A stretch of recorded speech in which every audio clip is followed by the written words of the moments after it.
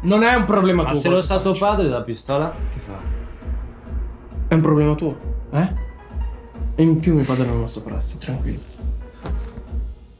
Sei un bambino, cazzo. Io sono un bambino. Sì.